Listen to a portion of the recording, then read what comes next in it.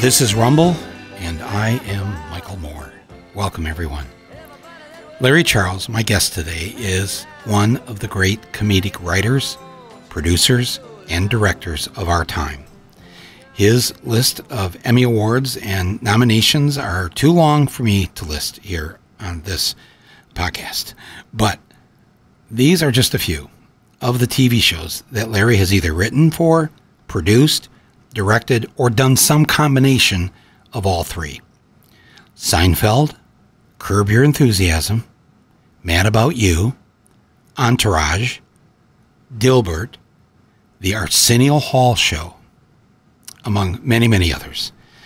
He has directed a number of films, including Borat, the original Borat, and Bruno, both of them with Sacha Baron Cohen, the incredible documentary Religulous, Bill Maher's take on uh, religion, and Larry co wrote and directed an amazing film called Masked and Anonymous.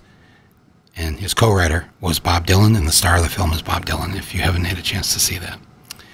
In 2019, Larry released a wonderful series, and I mean a wonderful series that's still now available on Netflix. And it's called Larry Charles's Dangerous World of Comedy, where Larry travels the world in search of comedians from all sorts of backgrounds and cultures to find the true meaning of comedy. It literally is a dangerous thing to watch. We'll talk a little bit about it here on today's episode of Rumble. Not only is Larry a great comedy legend, he's also a good friend of mine. It's such a, an honor to have him here. And I'm very pleased to welcome to episode 199 of Rumble, Larry Charles. Larry, welcome. Thank you, Michael. Thank you. That was quite a quite a build-up. Well, it's it's all true, and and I've had the pleasure and the experience of actually having worked with you on uh, a couple of things, and most notably, you and I uh, uh, wrote and and we did a pilot for CBS. This must have been back in oh man, 1997, 98, Yes. back in our youth. it's we were just out of college, but we did this uh, sitcom basically called Better Days about uh, these two assembly line workers in a dying auto town. It starred uh, Jim Belushi and Chris Elliott, along with others, and it's just uh, it's one of the most fascinating moments of my life. So there's so much to get into here, and I don't I don't really want to start with the past, but we'll get to that because you have some incredible Seinfeld and Larry David, Curb Enthusiasm uh, stories uh, that maybe I can get you to share. But but first and foremost, uh, here we are on the uh, Fourth of July uh, weekend, and I said to Basil, I said, "Geez, you know who I'd really would love to come on and celebrate America's birthday with me is Larry Charles because Larry, I mean, I have good friends and I have people that I work with. They're so smart and they're funny and all this, but Larry, your approach to the world and to how you see it and the lens you see it through and the voice that you use, uh, the, especially the satirical voice, there's no match for you in my life in terms of you operate with reckless abandon. You are not afraid. You will not pull your punch. You will go up to the line that you're not supposed to cross and then cross it. Sometimes maybe tippy toe back an inch. In Borat, you have Sacha Baron Cohen and his sidekick. They are in a huge fight with each other. The clothes have come off. They are naked. They are in a San Diego, I think, hotel, and they come out of the elevator and through a ballroom where there is the national convention going on of of of uh, uh, bankers. I think some kind of banking I think it was actually mortgage brokers.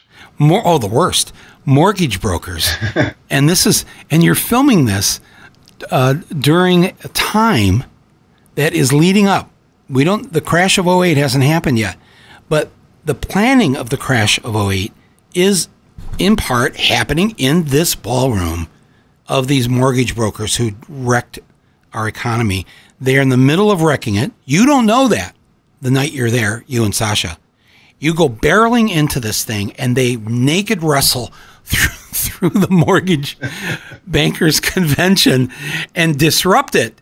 While now looking back, in hindsight, we know they're in there plotting the the destruction of our housing market.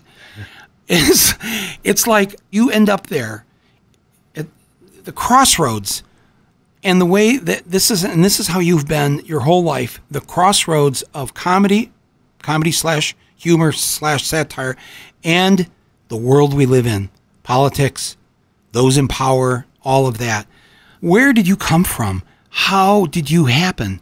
Where and how did this start Well, you know what? One aspect of this, Michael, and, and I don't mean to blow smoke at all, but I have to tell you, and I don't know if I've ever even told you this, but I, I my sensibility, if not changed, if not expanded, if not blown up, um, really, really was impacted by Roger and me.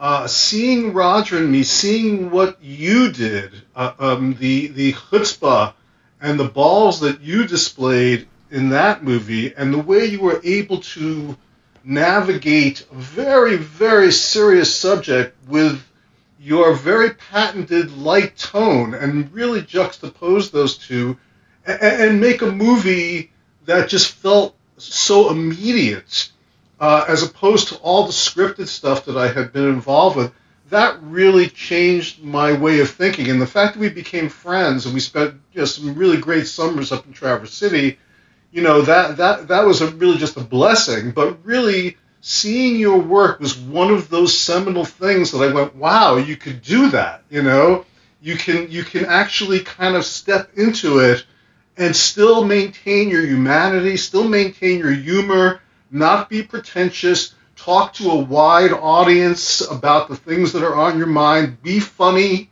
You know, those things really, really had a gigantic influence on me. I mean, uh, you know, I'm from Brooklyn. Brooklyn is a place where, in order to survive, you have to be somewhat of a gambler and have some kind of a crazy sense of humor. But the but the way that develops over the years can turn into many different things. And I think I was on a very kind of um, you know, a safer comedy path, even though my sensibility might have been dark and extreme, you know, I was working within very traditional forms. And seeing you kind of just take a camera and take a small crew and go out there and get in people's faces and be funny about it. And yet, in some ways, the humor is what made it so powerful. That really, really kind of, that something I carried with me. And it made me think about, and, I, am sure you're familiar with this filmmaker from when we were kids. There was a guy named Emilio uh, de Antonio. D'Antonio, yes. And he made a movie, and again, I think I saw it by accident, really, in, in Manhattan somewhere when I was a teenager. It was called uh, Millhouse. Correct. And it was kind of like a, a, a comedy documentary about Nixon and I thought it was great. He used clips, he juxtaposed things, he got laughs while still making this incredible point. And at the end of the movie, I'll never forget it, he had a list, a long list, a crawl of all the corporations that had invested money in the Vietnam War. And it really sort of just blew my mind.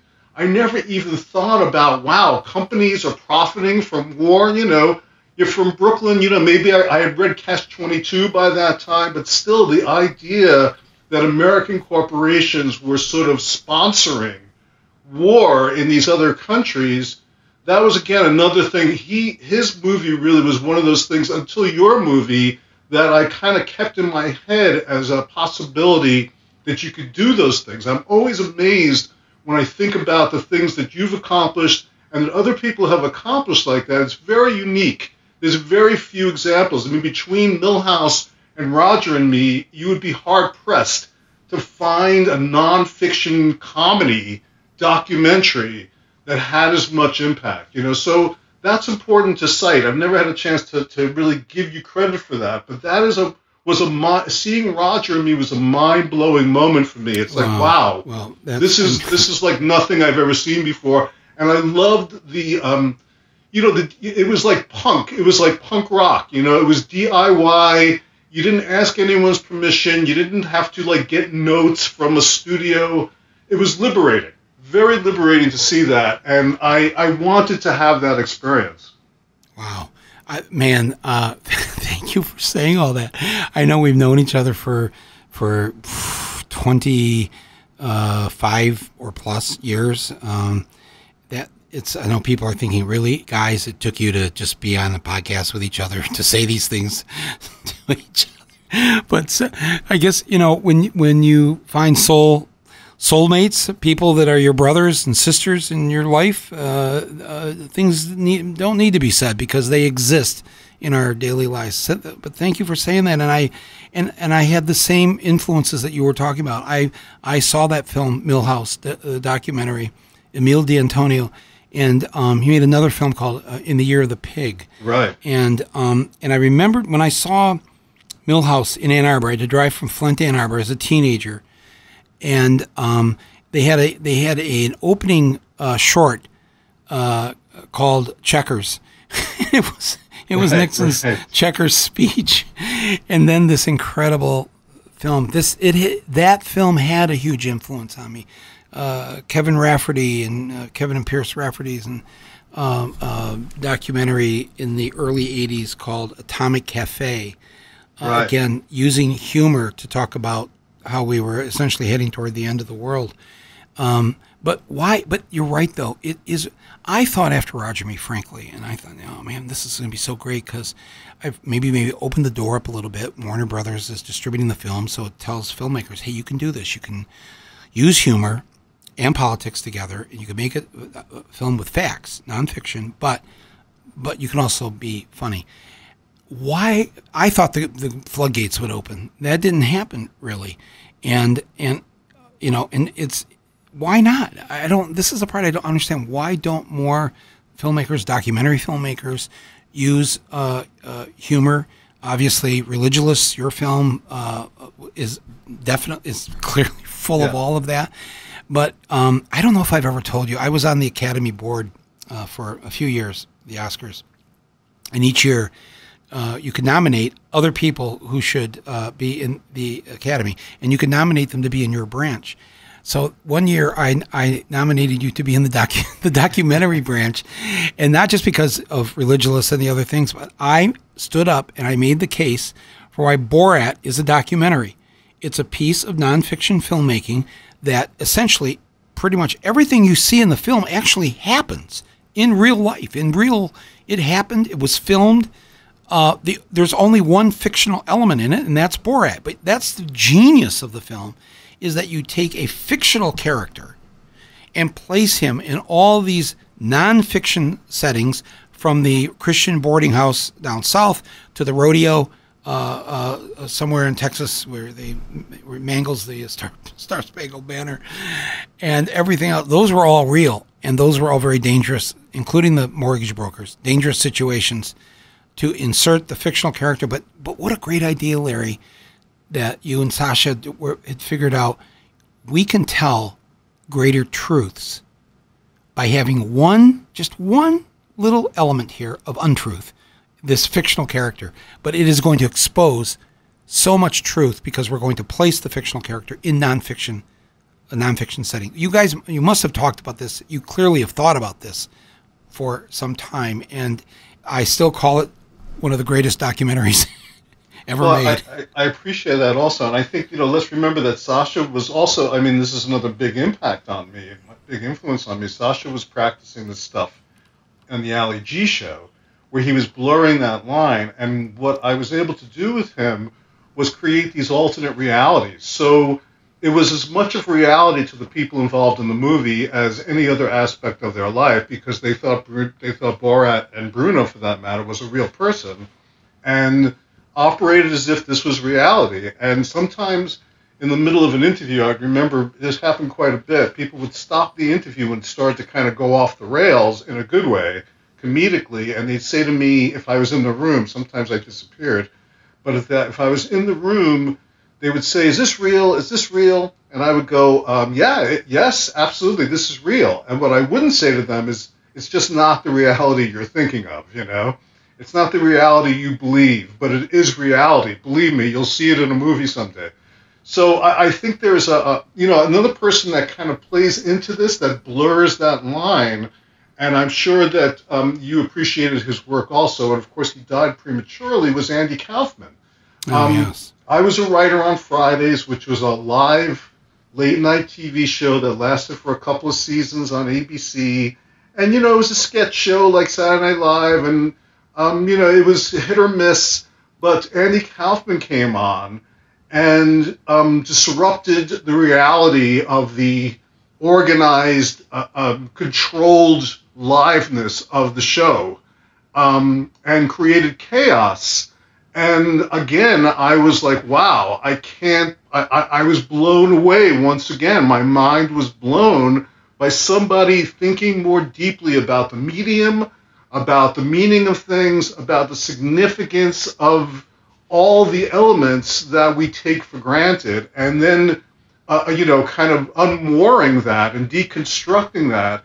And that was also another big influence on me. And in fact, I used to talk quite a bit to Sacha about Andy Kaufman. He wasn't even quite familiar with him because he was in England, and but he was kind of Sacha in his own way doing that same thing.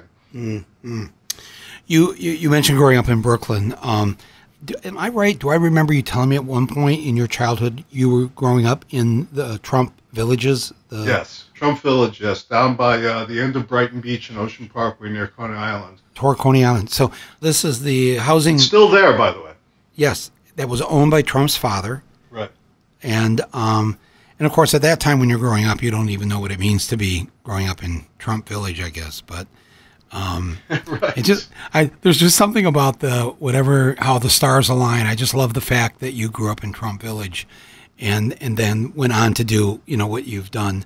But it's um. Well, you knew something was wrong. I'll tell you that. I mean, I yeah. didn't know that Donald Trump, of course, would become Donald Trump. But if you ever saw, and you, I'm sure you have seen a picture of Fred Trump. He's yeah. one of the scariest, most satanic people mm. I've ever seen. He was a frightening presence when he would show up to various things, like the opening of the Little League field or whatever. He was a scary, scary guy, and I was like, wow, this, there's something, e- I don't even understand it, but there's something evil going on here. Even as a little kid, I kind of had an instinct about that. As a kid, you knew that, that and, and, but, but yet you didn't have the thought as a child, I must do something about this to stop right, the de- right, to stop exactly. the demon seed. from continuing. Well, you know, um, I love uh, uh, reading, uh, going to your Instagram and your tweets and everything. And man, um, I'll, I'll, post a couple of them here so people listening can uh, get uh, a dose of what you've been putting out over the last year, two, three. Um, what is it about the time we're living in? And this is this is you know this is my Fourth of July question to you. Right. Where where the fuck are we? And and you know, so many people are so nervous and so worried that um, we aren't really through the worst of it. That Trump hasn't gone away. That the people that support Trump, that he got 11 million more votes than he did the first time. That people loved what they saw in those four years and came out for him. But there were many, many more millions of us. So, therefore, he's not in the White House, but um, it's it, it. I'm just curious. Your you know, I haven't talked to you in a number of weeks here, and and uh, just curious what your thoughts are about what's going on right now and everything that's happening. I mean, I I remember a month ago um, what you were posting about. Um, uh, Israel uh, bombing the civilian uh, population there in, in Gaza, and um, man, that was I I love it when I read or see something of yours on Instagram and I go, Wow. Um, mm, I don't know. Could I could I do that? I don't know. well, you know, it, you know, when I was a kid in Brooklyn, one, one of my best friends was a, a guy named Neal Lipschutz, who today is one of the executive editors of the Wall Street Journal, actually. And he and I used to hang out, and we would watch what was going on, like in the playground, and people were there was just like a lot of surrealism going on, a lot of like inexplicable behavior. We go, wow, the world is crazy. And I realized, like, here I am, like 50 years later, still thinking, wow, the world is crazy. It's and, and it seems crazier than ever. We seem to be in the throes of like a cult weirdness that's taken over America. Even though it, it, there may have been more votes for Biden, the fact that there are tens of millions of votes for somebody like Donald Trump, who, if you grew up in New York, you had his number back in the day, that he could have risen despite that to this level. And now look at what's going on. I mean, he's guilty of all kinds of obvious crimes, but you know he's going to get off. And we see Bill Cosby being released today, and you just feel like, wow, we're moving further and further away from justice, from truth, from equality. Uh, despite the fact that Biden's in office, despite the fact that Kamala Harris is vice president, despite the fact that the squad exists, they're a minority. It feels like like the truth has become a minority stance, and I can't really explain. People are desperate, maybe people are frightened, uh, people are lonely, and maybe they turn to these uh, uh, sort of outlets to express themselves, to feel part of some community because they feel so alienated. Mm. But power seems to have solidified in ways that's very distressing to me. You're rightly angry about the situation that we still find ourselves in. And while a lot of people just have wanted to go after four years, okay, I just need a rest. You are not acting like you want to rest. You are you are like a clarion call telling people this is the way it is let's get real, folks, and let's get busy. And it's, uh, um, man, I, I it, it fires me up. It really, you, it gives me some inspiration to see you just going for it. Do you ever stop and think, I have children? Me, maybe, maybe. I have, I have grandchildren at this point. That's right. You have grandchildren. Yes. Um, yeah, I, I, I worry about about my kids, but I worry about I, worry about everybody. I mean, I, I'm worried that we are leaving. I mean, because there are political issues that seem to be unraveling and out of control. But you look at the, the climate, you know, I'm here in California, and, you know, you look at the Northwest, you know, Portland and Seattle having temperatures they've never had before. And we're, you know, talking about um, the Central Valley of California, where most of the agriculture in the country comes from you know, is drying out. It's going to be a desert soon, you know, and I don't think people are really absorbing the truth of wow, what happens when the water's gone? What happens when you don't have food in the supermarket? We had a little glimpse of that during the COVID, uh, the, the midst of the pandemic. You might go into a store and see empty shelves, but I've been to Liberia and Somalia and countries like that where they don't have anything. They don't have clean water. They don't have access to food. They don't have access to resources. And we're, we're only one step away from that. And I, and I don't think people are at all prepared. I think they're being snowed about the, re- no pun intended, about the reality of that. And that's something that I feel like, wow, I, I have seen that. I have observed it I need to share those kind of uh, insights with people and hope that it has some kind of uh, you know impact. It has some sort of lasting value. Yeah, so do I, because your warnings, your, the warnings and the things that you post on Instagram, I think God, I hope people are listening to this. I hope they are watching this. Don't turn away, please, people. Um, pay attention to this. Uh, these are, are warnings that need to be heeded, and and I mean, Larry, I mean, really beyond that, beyond what you and I do uh, to uh, with uh, media and film and and uh, writing and all that, what what is it that we can do, or what can people maybe who are listening to this, what can they do to um, to act? Because I, like you, fear that time is slipping away at a much faster rate than we realize, and um, the the uh, we're not out of the woods with this virus. We have no idea what's in, in front of us. When I saw that map of Canada this week on the weather map, and the Canada had their hottest day ever, like in the history of Canada, any day, 116 degrees. And then it showed the swath of that heat wave going up in the 90s across the Arctic Circle. Yes. In the 90s in Canada. And I thought, holy shit, we're Paris Accords. We well, we're going to fix this by 2050. Are you fucking kidding me? I don't know. I don't know if we have 50 months left. Uh, That's so true. I mean that it's, that it's, I think we have been, you know, look. I think people. It's hard to face.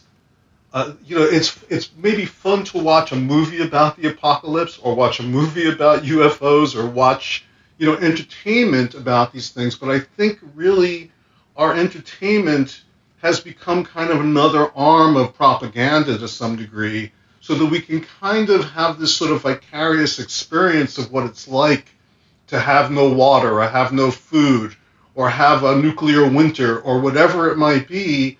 And the reality doesn't therefore set in. We keep it at arm's length, you know. And I guess what I'm trying to do is say, you know, strip away all of that because it's happening to you right now and you don't even realize it. And one of the reasons I do these little videos is, you know, having been in, in Africa and the Middle East, I've seen how the mass media has broken down and people are sort of just taking their cameras, taking their phone cameras, and shooting their version essentially of the Daily Show, you know, without any production, just kind of talking to the camera and bypassing the government media, the mass media to go directly to the audience and I guess that's what I'm trying to do. It seems like a very immediate form of communication. Yes. Um, that I'm able to sort of, you know, reach people without, you know, the day that I think of that thing, I can write it, I can shoot it, and I can put it out rather than submitting it to a corporation that has to give me notes that I have to sort of wait on. And by the time it comes out, so much time has passed. There's an immediacy to that that I think is part of how I see the problem you know, because the problem is immediate, and we're not um, dealing with it like an immediate problem. We're dealing with it like it's going to be somebody else's problem. But whose problem is it going to wind up being? Our children, our grandchildren, uh, the people of the world are going to suffer. They're suffering now, and so it seems like the best way for me to communicate right now. So, what do you? I mean, I've been thinking about this during the year and a half we've had here uh, during the coronavirus uh, you know, staying locked down as I have.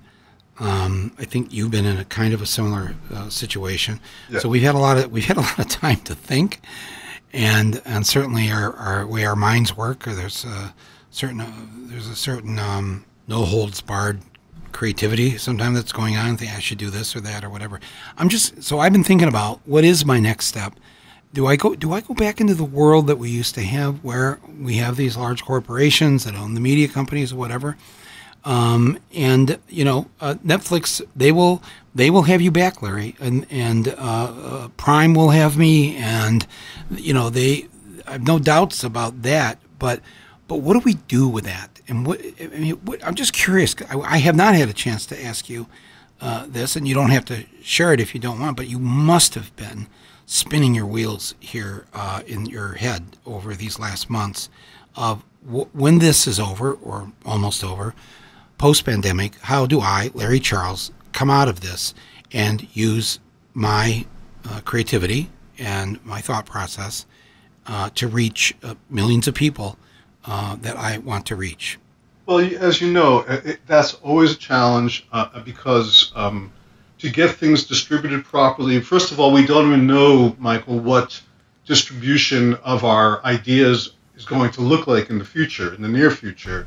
Right. Um, are people going to go back to movie theaters like nothing ever happened? Are people going to rely more and more on TV, more and more on, on cable, and uh, you know the, the the Amazons and the Netflixes of the world? Which, by the way, I appreciate on a certain level too. I mean, my show, the Dangerous Comedy Show, was on Netflix, and I'm grateful to them for putting it on. You know, I really, really am. Absolutely, I, I don't know if I would have been able to do it that without their help. Maybe not. That's right. Um, so it's a, it's a it's a thin line between you know being part of that system and rebelling against that system at the same time. And uh, I, I don't have a definitive answer to that. I know that as you as you say, my creative juices have been spinning. I actually made a movie a, a documentary over the course of the pandemic that I've just finished. Uh, that I think you know is going to hopefully be on the air soon at some point or in the next couple of months. So uh, you know I, I, kept working, but I also realized, wow, I'm in the house here. I, you know, and I, you don't need a lot of money. I've been to so many of, like I said, these, these, these men and women in these uh, undeveloped countries who sort of had an iPhone and were able to make a TV show with it, you know. And um, so I thought that's what I should be doing is not relying on the system so much and just making stuff and putting it out there, you know, whether it's on a YouTube channel or on Instagram, which again is owned by Zuckerberg, and I recognize there is some, you know, kind of conflict in that, but that is a place where you can put your stuff out, put your thoughts out, put your ideas out, uh, whether it be TikTok or Instagram or Twitter, and you know it's there, and people have a chance to look at it. People have a chance to directly communicate with you. It's a very immediate form of of art in a sense, and a new form of art. And I feel like you know that's that might be where the future lies. You know, and we may be breaking down this system where everything has to be through a studio, everything has to have stars. All those things are kind of like very, very, um, you know, top heavy at this point, you know, and they, because of that, they have to lack immediacy. And they also, you know, are there to sort of lull us to a large degree to into a sense of complacency, you know. Right. And and I guess what I'm trying to do is fight all of that while still being part of the system and like one foot in and one foot out. And that's a that's a tough, as you know, that's a tough that's a tough position to hold. It's tough, it's hard but, to have that balance. But you and I have been able to navigate that, and and I think, and we have also learned that every one of these entities, whether it's Warner Brothers uh, or Netflix or Hulu, uh, you name it, uh, there are good people working at all of these places. There are uh, fellow travelers, so to yes. speak, and and they will do their damnedest to get our work out there to American people and to people around the world. Can you tell us what, what this documentary is that you've been working on? Are you able to uh, share that with us? I don't. I can't say quite yet. That's okay. Only because I just I just am not ready to to to say what it is.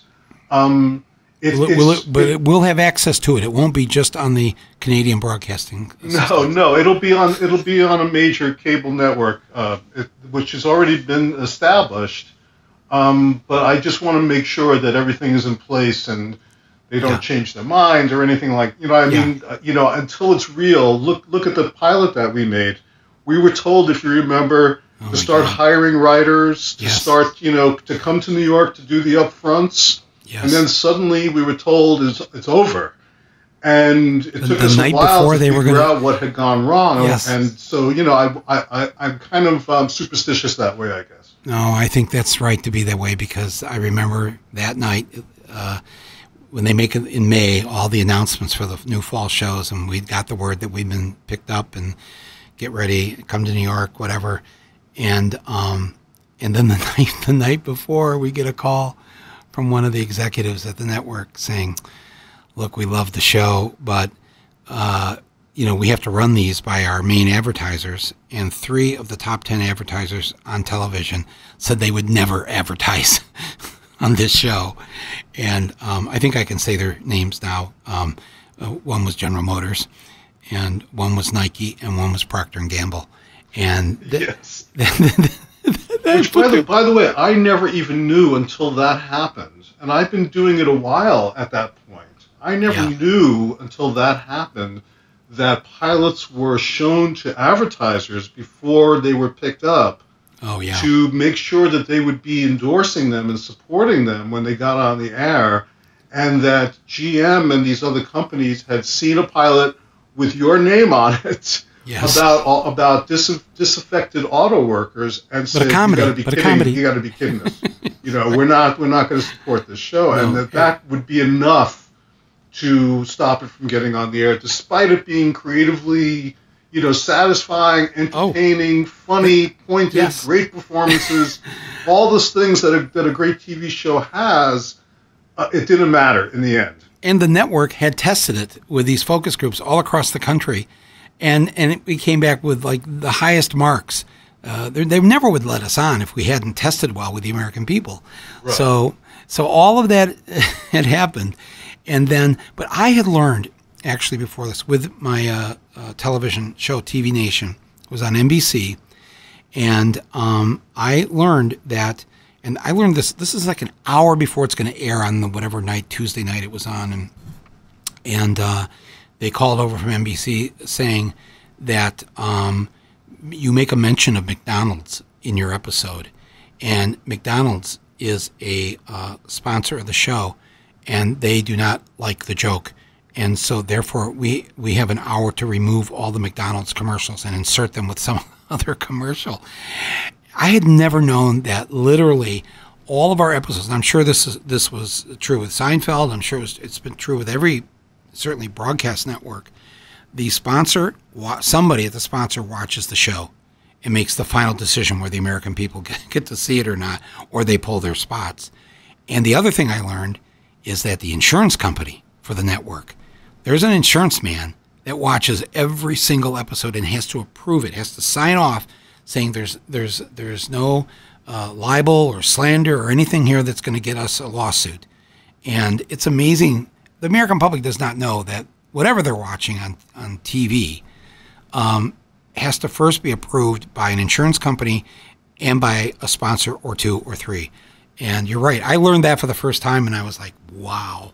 Yeah, these, I, I, these are all these were all revelations to me as well. I mean, you know, I, I had dealt with censors quite a bit, but I realized as time went on, the censors are kind of just like the tip of the iceberg. That insurance, uh, uh, you know, sponsors, those people were really driving the, the choices to a large degree. And you're right, this discrepancy, this discrepancy between the, what an audience craves and what is permissible to put out over the airwaves is all, it's often a very big gap.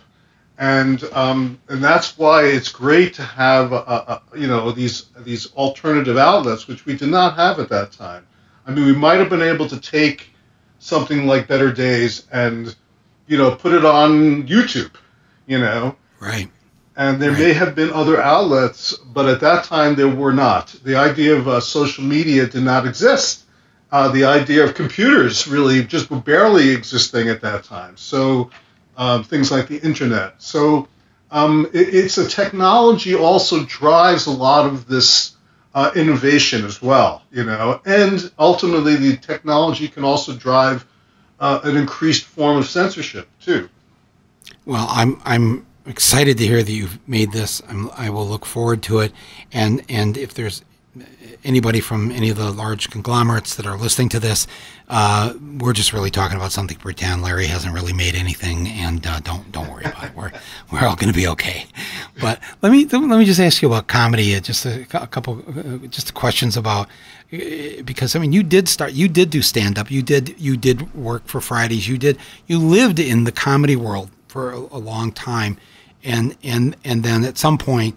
Um, you know, you and Larry David, Seinfeld, others uh, thought maybe this could be even smarter, and that the American people aren't as stupid as maybe we, we treat them to be, and um, and so you know we ended up with these great shows, but the, but comedy and you know our good friend Bill Maher has been harping on this now for some time this past year or two about the cancel culture and all this, and you know I, I still don't get what exactly what the problem is. I mean, I understand that yes, with with comedy, you you are supposed to say things that are offensive, and people will be offended and all that.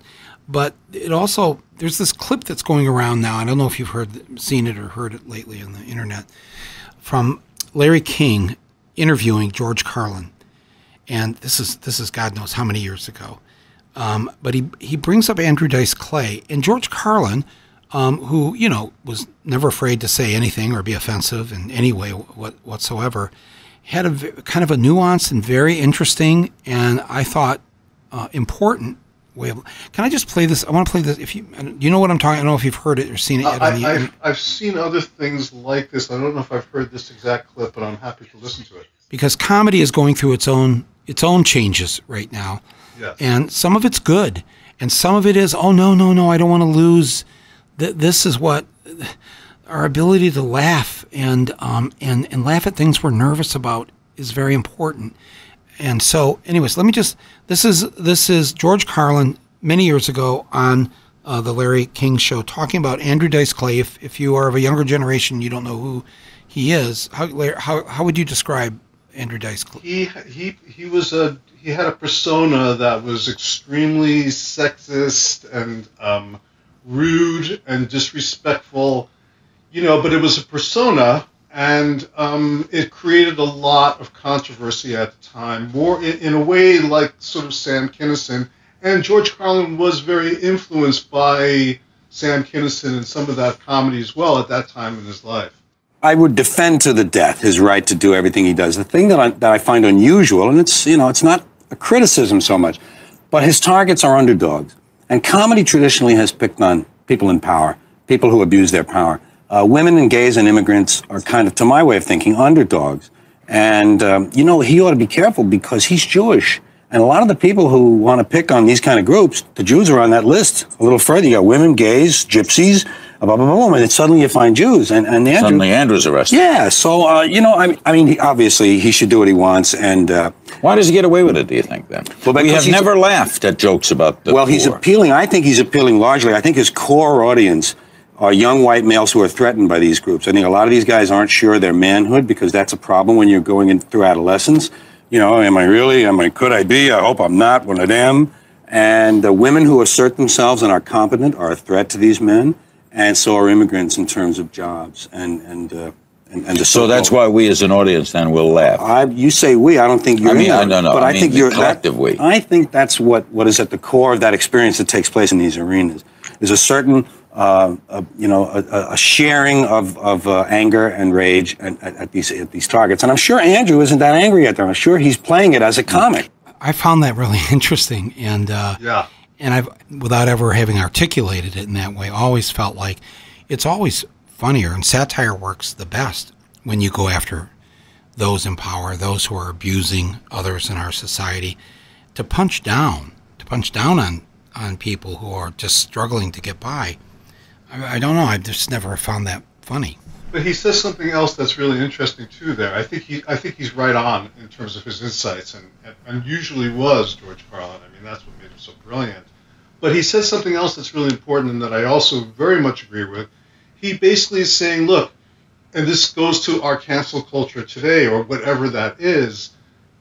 Let we have freedom of speech.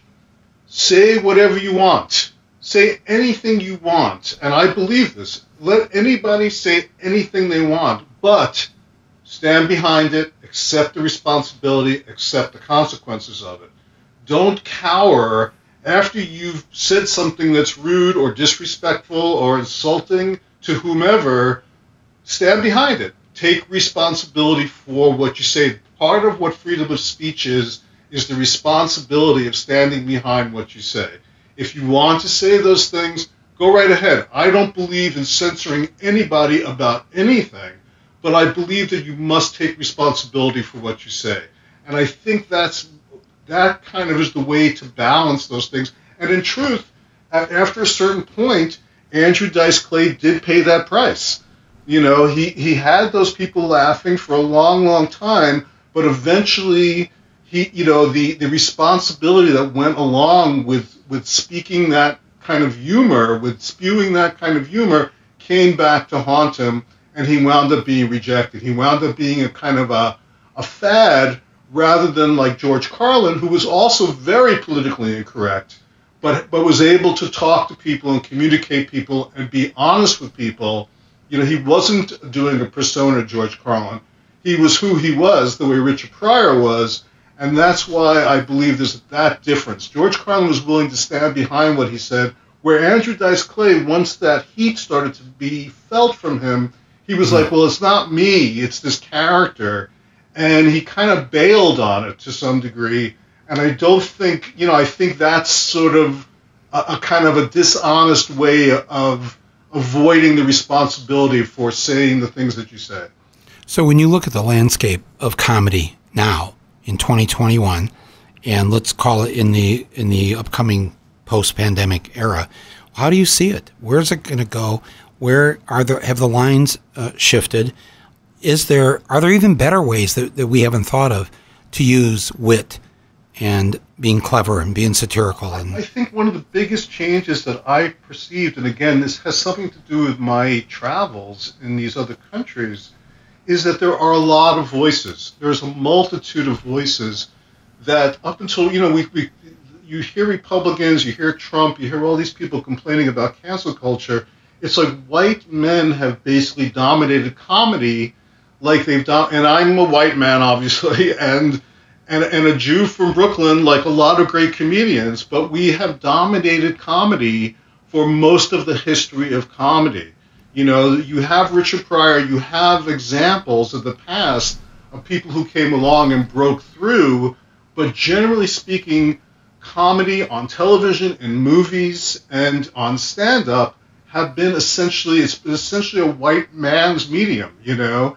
And I think what's happening now and what frightens people for some reason is that there are new voices. There are gay voices, there are Asian voices, there are LGBTQ voices. There's all kinds of voices now who are discovering their language of comedy, and it's different. It's different reference points than the comedy that we grew up on, and you have to be open to that. And I think that is a healthy thing. I think right now we're seeing this kind of fragmentation of comedy where like you know the white comedians are over here and the gay comedians are here and the black comedians are here and the asian comedians are here. But the truth is that we are kind of figuring out we're evolving our comedy language to reflect modern times you know? And i think that's a healthy thing in the long run. Oh it's so i think it's so healthy. And and i have i have been entertained running across all all kinds of different voices first of all just on your netflix thing uh, just so people understand, Larry like goes to places like Somalia and uh, uh, a Muslim country and places, and the comedy is incredible.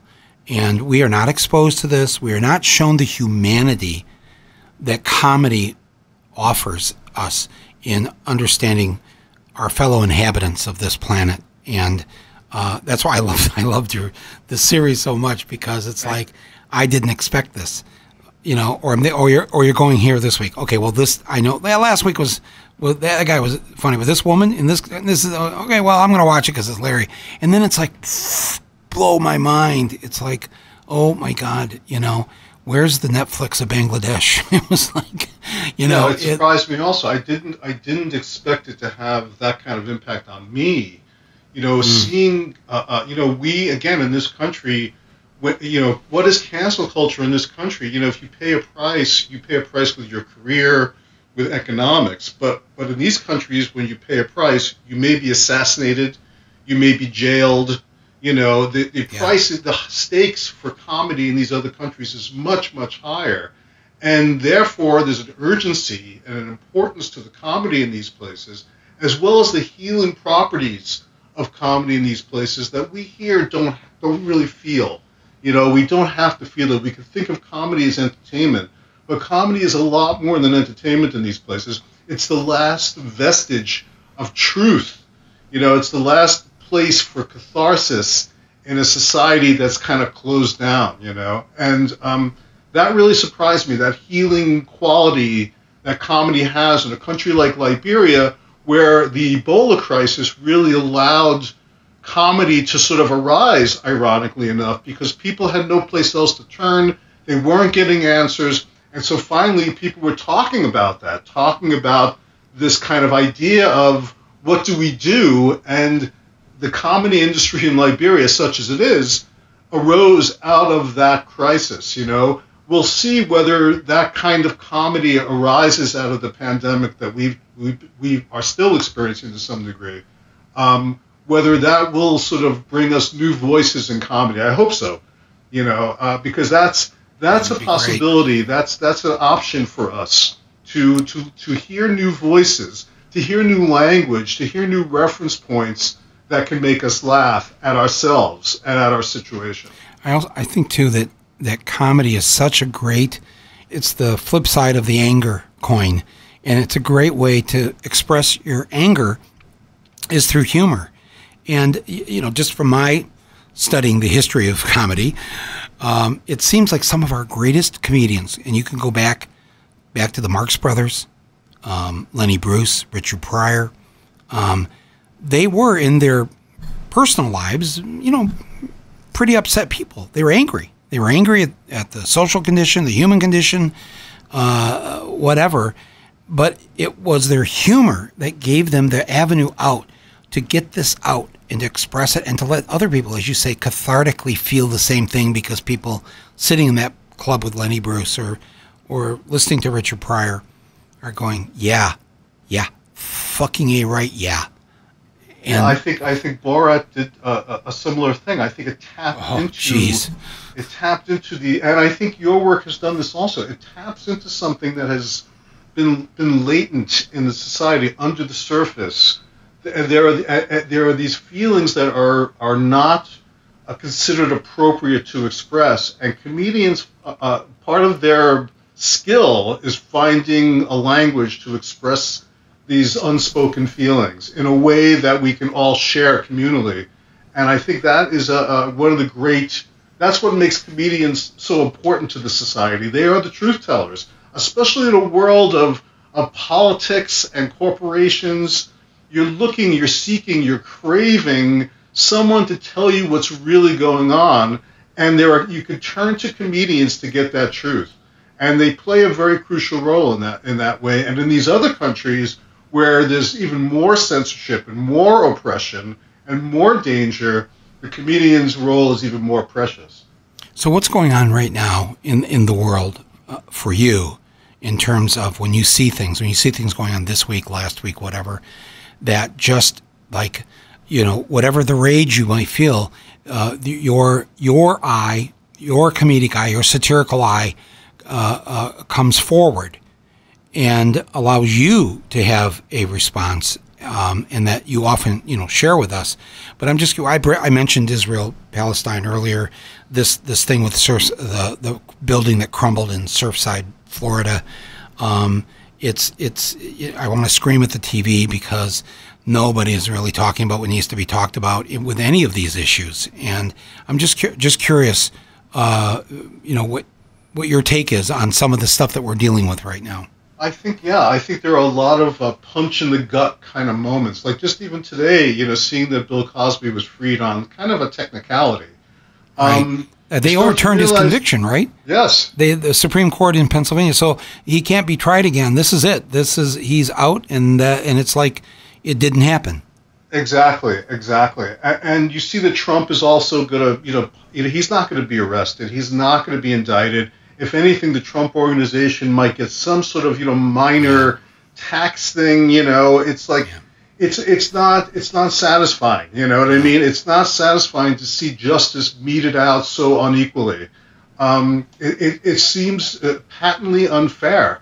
While so many people are rotting in jail, while so many victims have absolutely no outlet uh, for justice, to see wealthy men and again, they are men uh, usually uh, who are able to walk away and um, and and and skirt, and no pun intended, the the uh, you know the criminal justice system. So that's the kind of stuff. I mean, even in Surfside, clearly you see the corruption of the building commissions of the landlords. You know, they yeah. knew this was coming. Uh, they did nothing about it, and they allow people to die as a result. And then they'll gloss over these things, or they'll settle, or you know, there'll be there'll be some way of kind of just like the opioid crisis with the Sacklers. It's like nobody's really paying the price. Nobody's really feeling the consequences of their behavior on that level, and it just seems super unfair to me, and it's outrageous. And people feel more and more powerless in the wake of it. Yes, and I, I don't know. I, I have some weird hope that um, just, I mean, you and I have both spent time in South Florida uh, for various reasons, and um, the um, it it really hit home. I went down there a week or two after the Parkland massacre at the high school there. Those kids were so sharp and so angry and so right on, and um, and in that school was a combination of, of kids who were Hispanic, were Jewish, were Muslim, um, and I was I thought, wow, man, it, Larry. Even though we haven't handed our kids and our grandkids a the better world that we had hoped for many many years ago. We have we have raised the, these kids, and uh, and I know your kids, and I and I my daughter, and I know that they. I'm sorry to put this on their shoulders, but they are going to fix a lot of this shit, and um, and and so for that, I guess I have, you know, I have that level of hope. But, You've always um, been a, a, a, a you know this is one of your beautiful traits. I think you've always managed to find optimism and hope in these very very bleak situations. I mean, I think that's a key to both your personality, just getting to know you as a human being, and to your work as well. And it's something that I, I aspire to. I think I'm I'm a little less forgiving than you are in that respect.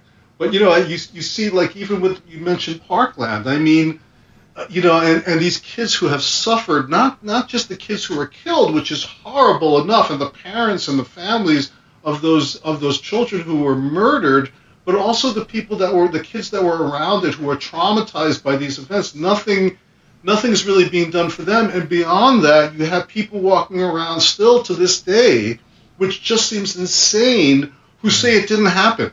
It was a false flag operation. It's like not only is it like a, a, a spitting on on these poor children's graves, but you know it's like they are allowed to go around and say that without consequences, and that's that goes back to this free speech thing. You know, it's like say it if you want to, but there if there's no consequences to spewing that kind of hate and that kind of falsehood, it seems like there's no there's no justice then available to us uh, to, Right. to remedy those kind of situations. You know.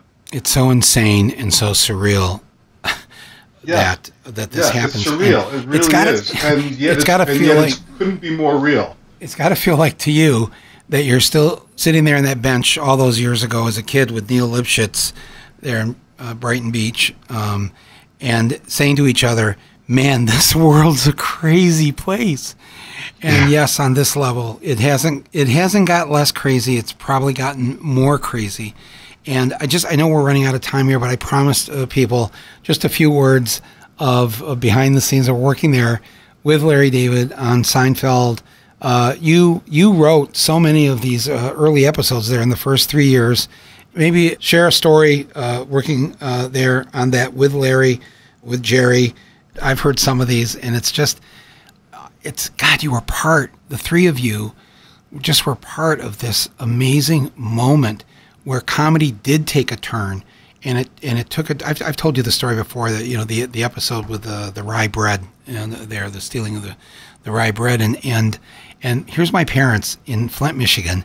You know they're they're in their 80s, and I know they they are like Seinfeld show number one fans in Flint.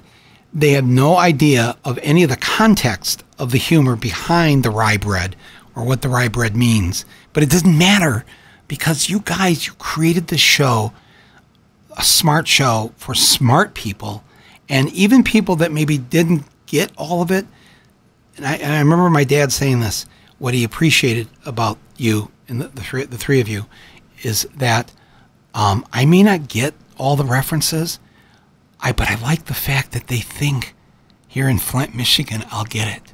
They think they think I know enough or I'm smart enough, and it, it's so respectful of me. I'm a retired auto worker, and and this is my favorite show.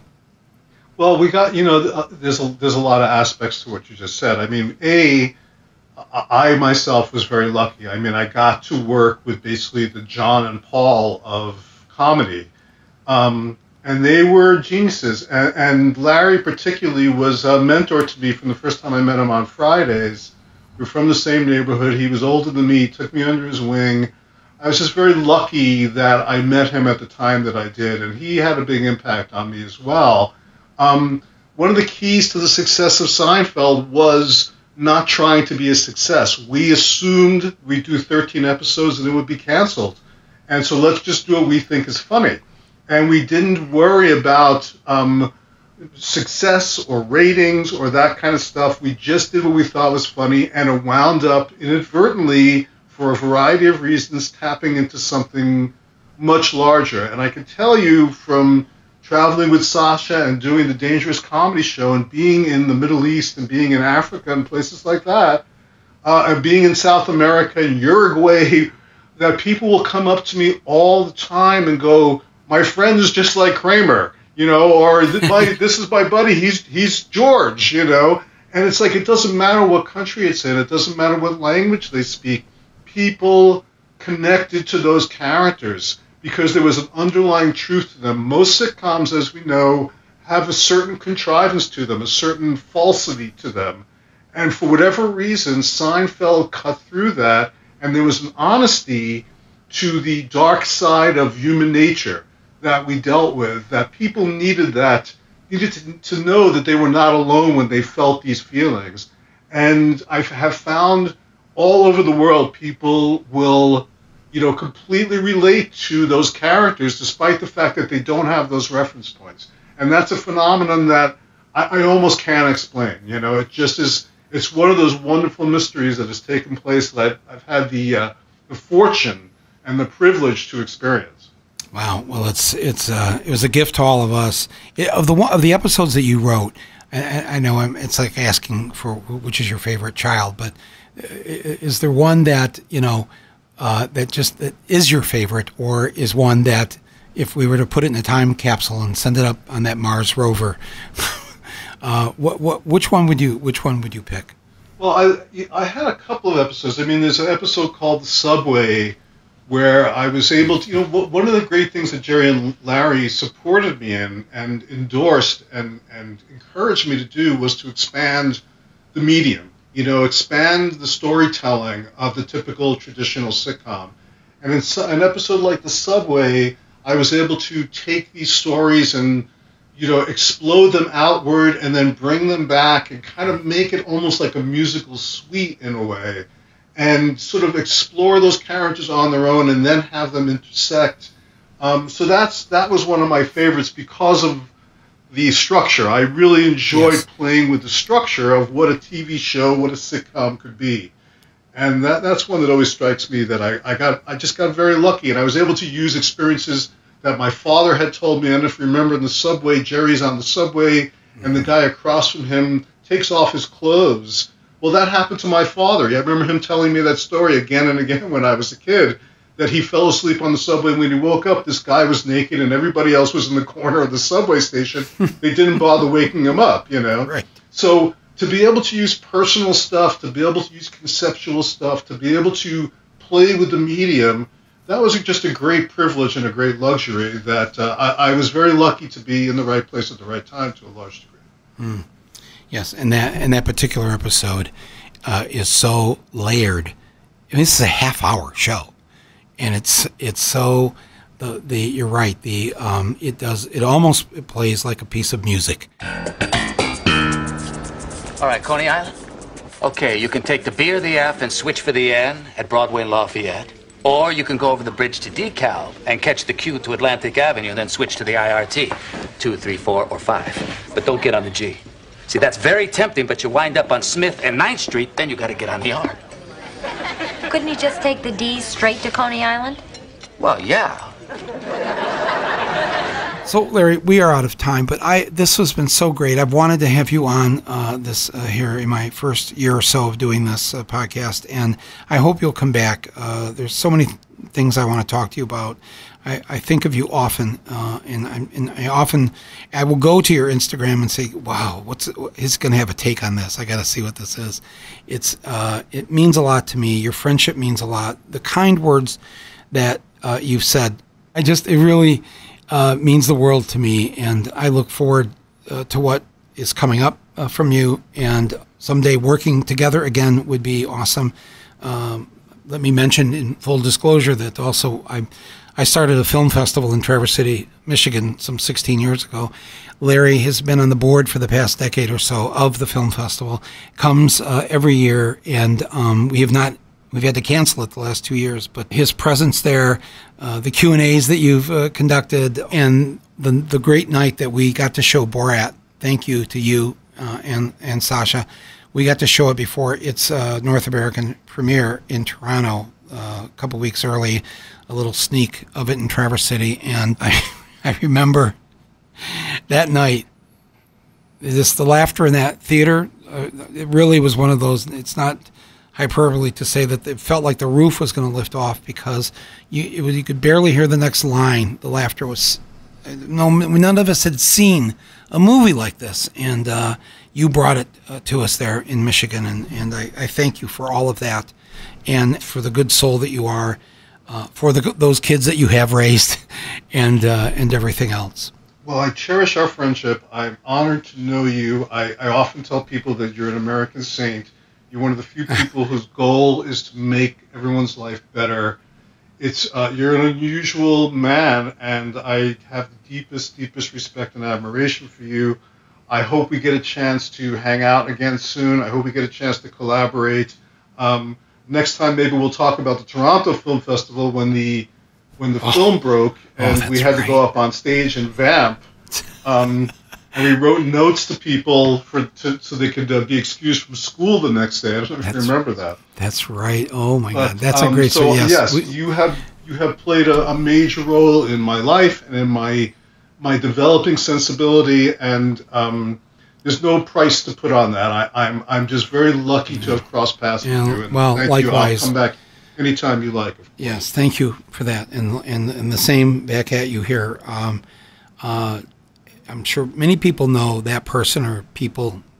It's not many in your life that the the the absolute uh, goodness and and luck in some sense that that they entered your life. Uh, and, and how much better uh, they made it. And Larry, obviously, you are one of those people for me, and I can't thank you enough. And thank you for being part of my Fourth of July weekend weekend episode. yes, and uh, and uh, we'll we'll talk further. Uh, everyone, Larry Charles, the the great comedy writer, producer, director, director of Borat, director of Religulous, uh, and um, Larry Charles's uh, dangerous world of comedy and some some unspoken piece that's that is awaiting us shortly. Uh, uh, uh, that I will make sure isn't killed by corporate America. uh, thank you, Larry. Uh, Thank for you very this. much, Michael. Be, be well. Thank you. You too, man. I'll talk to you very soon. Well, that was great. I, I hope uh, all of you enjoyed uh, listening uh, to that. Look on the description page here. I'll have some links, a couple of uh, Larry's uh, Instagram postings. If we can get uh, one of the Seinfeld episodes that he wrote up there, that would be great. And maybe a, a clip or two from um, Borat or Religulous. So many great works from Larry Charles. And I hope you enjoyed listening in on this conversation between uh, two old friends. I hope everybody's having a good weekend. My true sympathies for the people uh, down in Florida and everywhere else in the world, uh, whether it's a, a place that our new president bombed in the last week or whether just everybody doing their best to get through this, what we're all going through. As Larry said, I, I, I do have a weird optimism. Probably, if you've listened to this by now, our next episode will be episode 200. 200 in the last it's roughly what 18 18 months now of rumble. So be sure and listen uh, to that one. My thanks to all of you who are listening to this. Thank you for sharing emails with me mike at michaelmoore.com i love hearing your feedback on the show. On the description page there's also a link where you can leave me a one minute voicemail. I love to hear uh, what you have to say. Looking forward to the great month of july that we are now entering. So we have a few cool things to share with you uh, in this uh, coming month. Uh, I will thank my executive producer, Basel Hamdan, our editor and sound engineer, Nick Quaz, and everybody else who's been an inspiration to me and uh, to this podcast. It uh, does not go unnoticed. I greatly appreciate it. To all my friends and people I live and work with back in Traverse City, Michigan. Um, I hope everybody is having a good holiday. President Biden has decided to show up in our little 15,000 year round population town in northern Michigan. Uh, so, very cool on that. And um, we are uh, working to get our theaters reopened and are bringing our film festival back in the coming year here. Things that we lost uh, during the pandemic. But um, we got a great piece of news uh, here this week from the federal government uh, they approved our grant application. It was an act passed by Congress, the Shuttered Venues Act, to provide some funds to reopen our movie theaters, especially our indie movie theaters, and to open up concert venues, museums, playhouses where they perform live plays in towns all across this great country. They've all been shut down. Some of them aren't going to open back up. Some are struggling uh, to survive right now. And we applied along with thousands of others, and we got we got one of those grants this week, and it will, in fact and indeed, save our Traverse City Film Festival and our State Theater and our Bijou by the Bay Cinema. So thank you, United States of America, on uh, on your birthday, for using some of our tax dollars, the government of, for, and by the people, to help maintain our arts and things that uh, even in rural areas where much help um, is needed. And happy birthday to everybody in Traverse City because here this weekend on Sunday, it's the 105th birthday of our State Theater. Opened 105 years ago this weekend. We have restored it. We are keeping it alive. It's a beautiful nonprofit movie palace. If you're ever in northern Michigan, please stop by.